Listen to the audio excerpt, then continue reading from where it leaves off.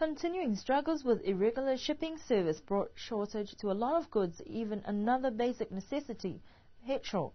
With the change to the shipping schedule, the island will not have any petrol till then. This has caused a headache for motorists with petrol-fueled cars as they need to wait till the boat arrives. However, diesel is plentiful for those cars fueled by diesel. The boat with the fuel for Niue that was supposed to arrive on the island on the 8th of May is now arriving, or not arriving, until Sunday, the 23rd of May.